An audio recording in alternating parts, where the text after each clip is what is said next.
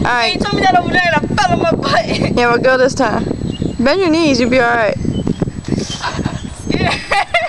You got 30 seconds to get down that slide. You do! Now. Go down the slide, baby.